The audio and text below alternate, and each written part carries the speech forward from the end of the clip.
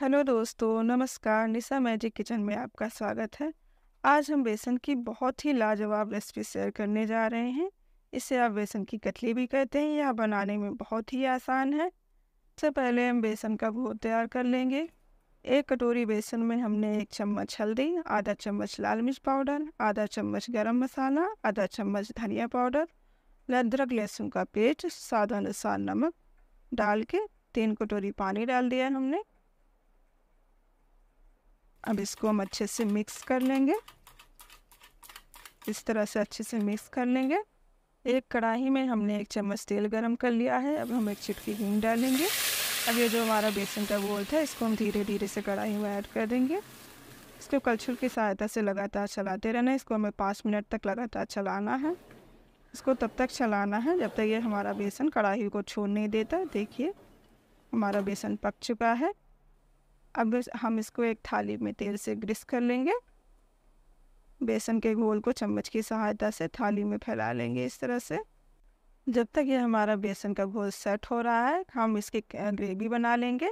देखिए कढ़ाई हमारी गर्म हो चुकी है, हमने दो चम्मच तेल डाल दिया इसमें। अब हम इसमें टमाटर, प्याज, लहसुन, अदरक का पेस्ट डाल देंगे। इस तरह से अब इसको अच्छे से भूनना है। जब तक ये हमारा पेस्ट भून रहा है, हम बेसन की कतली को कट कर लेंगे इस तरह से चाकू की मदद से। देखिए कितनी सॉफ्ट और मुलायम कतली कट के आई है बेसन की। अब हमारा ये पेस्ट भुन चुका है। इस स्टेज पे इसमें हम एक चम्मच हल्दी, आधा चम्मच लाल मिर्च पाउडर, आधा चम्मच धनिया पाउडर, आधा चम्मच गरम मसाला डाल के अच्छे से कलछुल की सहायता से मिक्स कर लेंगे। अब हम गैस का फ्लेम ऑफ़ कर देंगे। इस स्टेज पर इसमें हम एक कटोरी दही डालेंगे। दही जब भी आप डालें, हमेशा गैस का फ्लेम ऑफ़ करके ही डालें, नहीं तो आपकी दही फट जाएगी। इस तरह से कलछुल की सहायता से आप चलाते रहें। देखिए, इस तरह से हमारी ग्रेवी पक चुकी है। अब इस स्टेज पे इसमें हम दो गिलास पानी ऐड कर देंगे। इसको कलछुल की सहायता से चलाते रहें।